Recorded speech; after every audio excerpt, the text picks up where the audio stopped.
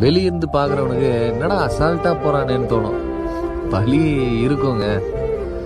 வலியை தாங்குறான்றதுனால வலி இல்லைன்னு சொல்லிட முடியாது இல்லையா? எவ்வளோதான் வலிச்சாலும் மூஞ்சில சிரிப்போட அப்படியே போயிட வேண்டியது